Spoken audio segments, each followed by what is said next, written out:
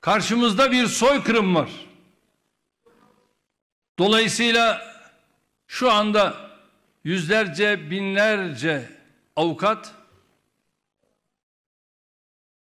bunları Lahi Adalet Divanı'na ve böyle bir soykırımı yaptığı için bunları bir defa kesinlikle soykırım noktasında da bütün adımları atıp gerekli olan duyuruyu yapmanın gayreti içerisinde olacağız. Ve ben şu anda gönlüm ferah açık olarak diyorum ki İsrail bir terör devletidir.